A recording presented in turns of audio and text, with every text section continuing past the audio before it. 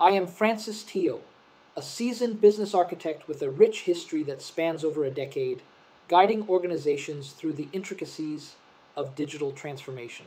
In the ever evolving publishing industry, I've carved a niche for myself, particularly in the intersection of AI and interactive advertisement.